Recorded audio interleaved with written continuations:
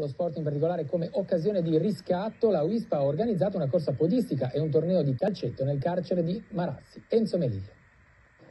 Un momento di evasione nel senso migliore del termine perché quelli che hanno partecipato sono tutti detenuti modello che stanno effettuando un buon percorso di recupero e si sono guadagnati anche questa giornata speciale nel carcere di Marassi con vivicità porte aperte. Prima un quadrangolare di calcio nel campo dell'istituto, poi una gara podistica, entrambi organizzati dalla WISP di Genova. Una manifestazione in cui lo sport diventa strumento di inclusione sociale. Un centinaio in totale i partecipanti. Di questi una trentina i detenuti che hanno partecipato con due squadre al torneo calcistico con una formazione della polizia penitenziaria e la CDM Futsal, vincitrice. Alla gara podistica, che vedeva ai nastri di partenza anche gli atleti del gruppo Città di Genova e dell'Atletica Valle Scrivia, hanno preso parte 16 reclusi.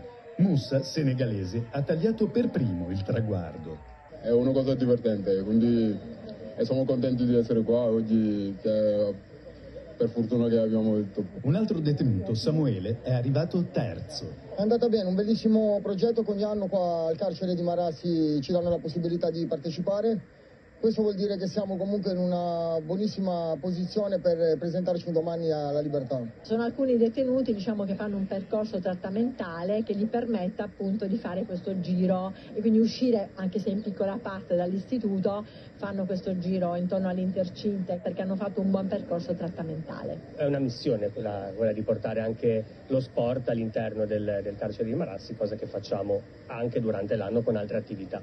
È stata la dodicesima edizione di Vivicità a Genova. Dopo il Covid torna per il secondo anno consecutivo. Ancora sport.